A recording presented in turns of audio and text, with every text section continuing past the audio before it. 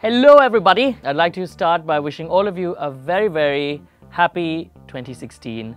I know it's not exactly the 1st of January uh, or the 31st of December, but and I've been absent for a very long time, which is why I thought the first episode this year should be about me talking to you guys and giving you an explanation of where I've been and what I've been up to and why you've not seen any videos on my channel for a bit. The truth of the matter is that like you know, I've been traveling a lot. I went to New York for two weeks. I went to Mexico for one week.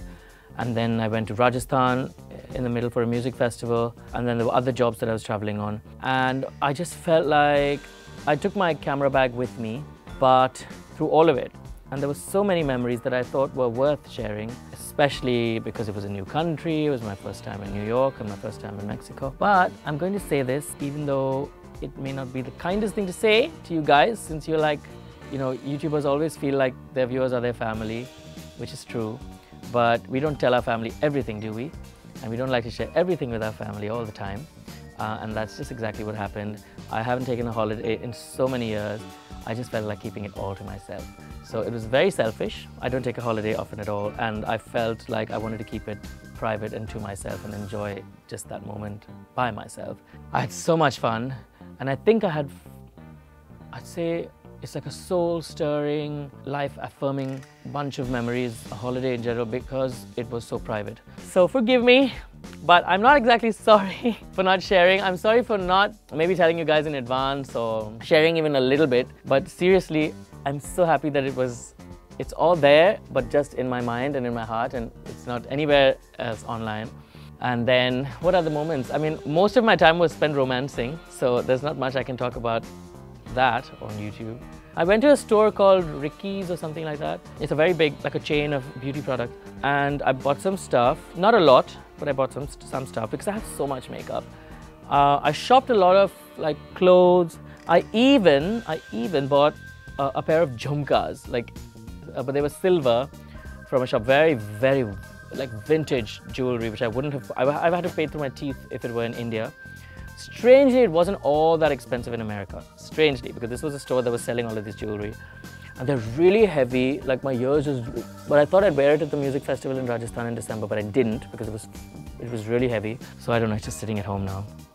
But I, you know, I shopped that. I bought a lot of clothes. Like I bought this shirt. This is from a store in OAK, Oak. Beautiful store. Whatever I tried in the store, I tried about seven or eight things. I bought every single piece. I bought these pants. They're so cool. Look at it. It's like a drop crotch. Uh, it's made from a fleece. It was, it was warm over there. I still wear it here because I love it. Mm, I bought these shoes. They're Nike Air.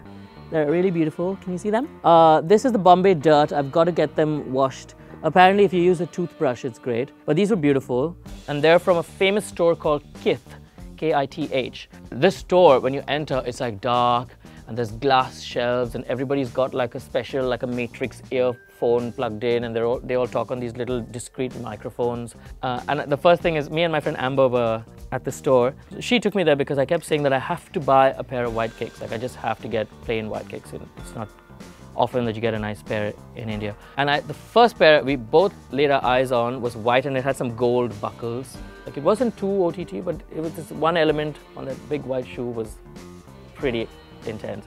And I loved it. And she said, that's so you. And I said, yes. He asked for my size. I said, it's a nine. And then he got me a 10. And thank God that he didn't have a size nine because me and my friend Amber were we're just like, okay, what do we say now? It's kind of embarrassing because we're gonna have to settle for like the 100, 150 rupee dollar. But I just made the excuse of, oh, you don't have it? Oh, damn, I really want that pair of shoes. You don't, are you sure you don't have it? Do you want to check? And they didn't have it, so. And then I bought these sunglasses from the same, um, well, it's the same sort of department. It's called Atrium or Atrium or something. Uh, this is a handmade pair of sunglasses by Retro Super Future. Look at them. I like them very much. And I met a beautiful uh, gentleman who, you know, it was drizzling one evening. I posted about this on my Facebook and my Instagram because it was that was a, a real defining moment for me because um, so we had a, a long day uh, or evening together And we went out and we had a dollar pizza, which is a thing to do apparently in New York. One dollar pizza, very full of cheese and full of rubbish, but it's so tasty. And then it was raining, and we didn't have umbrellas. We just had jackets, and then it was cold, so we had to pee. So he made me pee into someone's lawn. Then we crossed like an apartment. Again, it was like a fence. We crossed the fence. We jumped into the uh, compound. We sat on a bench. This was at like one o'clock or two o'clock in the morning, and we sat on the bench and we had a beer. In the, it was drizzling, and uh, then it was time to say bye. So I booked my cab. He booked his cab, and the, the cabs were waiting on the corner of this sort of crossing. And uh, so we had to say bye. And he's really tall, like six plus. So I'm like looking like this. And you know, in that moment, I realized that my being a part of the LGBT community here in India, and I'm 34 now, I realized that in 33 years, I'd never been able to act on an impulse in a public space. Like, for example, if you're with your girlfriend or somebody that you like and you're looking into each other's eyes, and you know, in that moment, you feel an impulse to either kiss or hold or whatever. In that moment, I realized that I just never acted on that impulse because we're so conditioned to live in a society that makes us feel almost guilty or wrong for doing something like that that you tend to keep it for a later moment, you know, and then you procrastinate and that moment's past. And then what's the point of really living if you can't express yourself when you feel it? We kissed and it was so beautiful. It was like as if time stood still for me and I could just feel those, the raindrops on my face. It was beautiful. So as soon as I sat in my cab, I wrote the status update and that's what I posted. That was a great moment for me because then I realized that I'm not going to limit who I am and how I feel about uh, people when I go back to my country. So that was a lesson for me. And then I went to Mexico after that. I was in Cancun. We went to Playa del Carmen, which is the coolest beach. And then I went to Tulum. I posted some pictures there because the water was so blue, the sky was so blue, the sands were so white. There was like a line of flamingos that were just flying over in front of me over the water. It was so beautiful. The nicest part of my entire trip would be that, again, I had a Tinder date in Mexico. I did go on another date.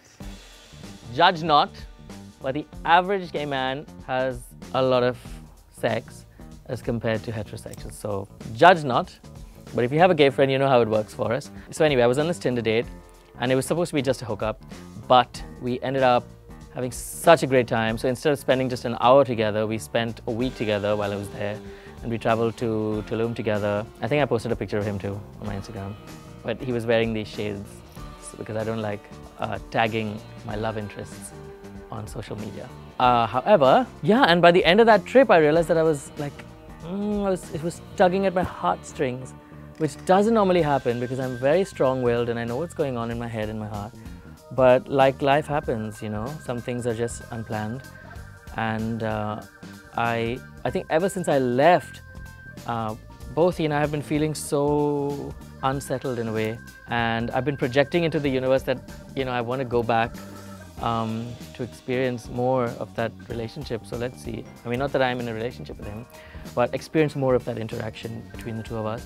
And the good news is that as luck would have it, and seriously, I think this is luck at its best because I got called uh, to work on New York Fashion Week. It's true. So I'll be working on New York Fashion Week in February. I leave uh, on Feb the 1st. I'm super excited about working, of course, because I get to work with top-notch models, the best models in the world, the best designers in the world, the best shows that there are in the world. Um, and I will this time work my camera because it is a work trip and I plan on, you know, having sort of consistent content for you guys. I'll do some tutorials maybe if I find a model or something, I don't know. I, am not carrying a lot of makeup because it's very, the baggage allowance isn't much on these airlines. Uh, that's how they make money, I guess. So yeah, that's the biggest news. I'm going back to New York.